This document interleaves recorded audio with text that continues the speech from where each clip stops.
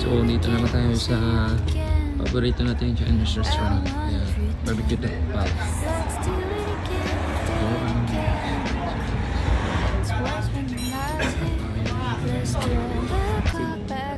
Cheers.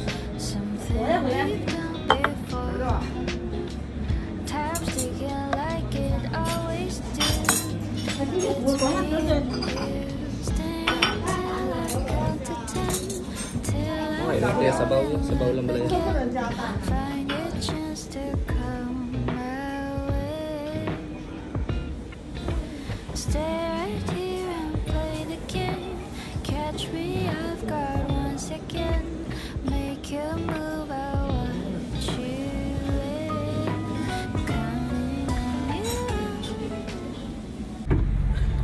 Ya, namanya. Ano? Naman binili mo, Day? Video ka. Ha? Ano yan? Buksan mo. Isa lang. Ano yan? Ano yan?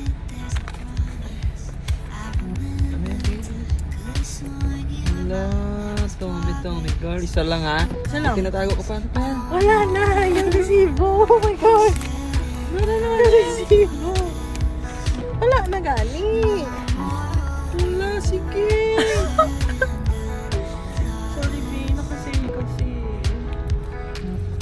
Sobrang mura na. Swerte ka ang ma 30 meals lang kinuha ko. 50 sana kukunin ko. Yun, umalis ulit siya. Kasi maliit yung nabili niyang, ano daw, maliit yung nabili niyang Tommy. Yung nasa 30 ml, magkano 26, 27 something. Pag 100 ml nasa parang 17 dollars na lang yung kulang para 100 ml na. So ayun, bumalik ulit. Bumalik ulit. Yan, yan yung sinasabi ko talaga. Bumalik ulit. Pero okay lang. Hindi masaya. Ah, saan ka galing? Ha? Maliit lang kanina. Malaki na ngayon. Eh kasi yung difference, alam mo, $26 yung 30 meals. Yung 30 100 meals, 44. Eh di ang mura. Okay, late. $18, $18 yung ano, half Ulit na tayo per mag-i-exam 100 meals. O sige. Para daw mamaya na. Gift. Oh, ano yan? So, deserve mo yung perfume ata. Pasa ka na sa bar exam ha. Anong bar?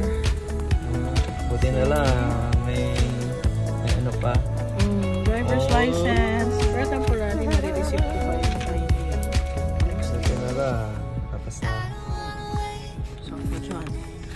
License Wala. na ako. Congrats.